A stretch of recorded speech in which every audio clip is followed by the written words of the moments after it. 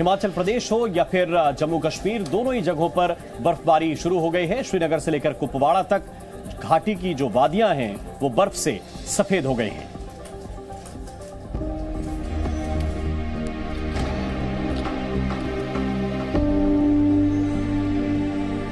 दिसंबर का महीना आते ही कश्मीर घाटी में बर्फ़ का ये नज़ारा आम होता जा रहा है। ये वक्त है घाटी के उन दिनों का जब चारों तरफ़ बर्फ़ होगी और कश्मीर की खूबसूरती को एक बार फिर चार चाँद लग जाएगा। गुलमर्ग से लेकर सोनमर्ग तक लगभग हर टूरिस्ट डेस्टिनेशन बर्फ़ से ढके हुए हैं। यही वजह है कि इन इलाकों में पर्यटक भी भारी संख्या में पहुँच रहे हैं। मुझको बहुत अच्छा लगा। हम लोग सोचे कि एक बार वहाँ चलें और बर्फ़ देखें।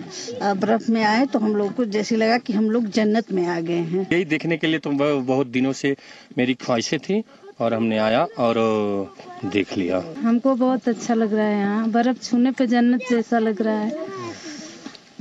ठंड लेकिन ज़्यादा है।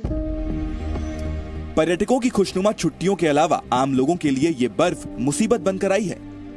शोपियाँ और पुंछ को जोड़ने वाली सड़कों में बर्फ़ जम गई है जिसे निकालने का काम किया जा रहा है। कुपवाड़ा में तो बर्फ़ से और भी बुरा हाल हुआ। यहाँ सड़कों पर बर्फ़ की मोटी परत जम गई, जिसके बाद बीआरओ की टीम बर्फ़ हटाने का काम करती नज़र आई।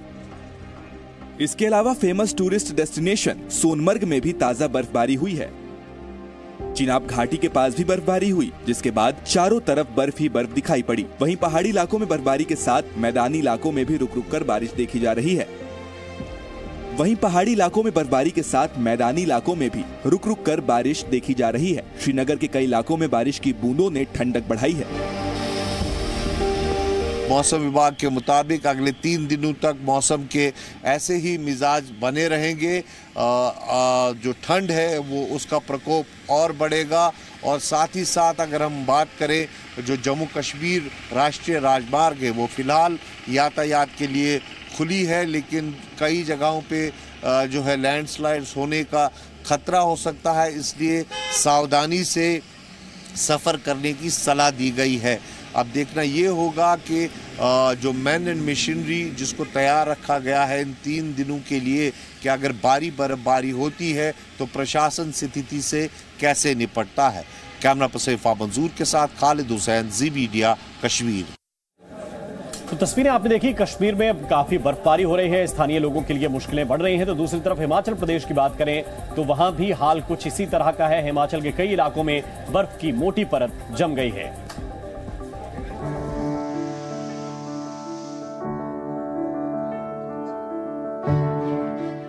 बादलों के बीच बर्फ़ से लदे पहाड़। सूरज की किरणें इन बर्फीली पहाड़ियों पर पड़ती है और एक तरफ़ से आते हैं बादल और फिर जो नज़ारा दिखता है उसे बस आप देखते ही रहिए।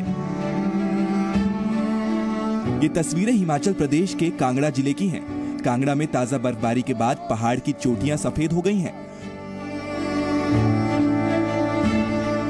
ऊँची चोटियों में बर्फ़ गिरने से निचले इलाकों में ठंड बढ़ी है। कांगड़ा की पहाड़ियाँ इस वक्त किसी फ़िल्म के खूबसूरत दृश्य की तरह लग रही हैं, मगर ये बर्फ़ हर जगह मनमोहक नहीं है। हिमाचल के ही लाहौल स्पीति में बर्फबारी से हालात बदतर हो गए। सड़क पर कई फीट मोटी बर्फ़ की परत जमी और ज़ाहिर है, उसके बाद कई सड़कें बंद हो गईं। लाहौल स्पीति की स्थानीय पुलिस ने कोकसार इलाके का वीडियो शेयर करते हुए ताज़ा बर्फबारी की जानकारी दी। बर्फबारी का ऐसा ही हाल रोहतांग में मशहूर अटल टनल के पास दिखा। टनल के आसपास बर्फबारी के बाद सफेदी छा गई। कभी पर्यटकों से गुलजार रहा ये टनल अब बर्फबारी की वजह से लोगों की पहुँच से दूर हो गया। हालाँकि अभी भी यहाँ पर्यटक घूमने आ रहे हैं। मौसम विभाग की माने तो आज के दिन तक हिमाचल में इसी तरह बर्फबारी होगी। देखना होगा, आने वाले दिनों में ये बर्फ़ कितनी मुसीबत लेकर आती है। Bureau report, Zee Media.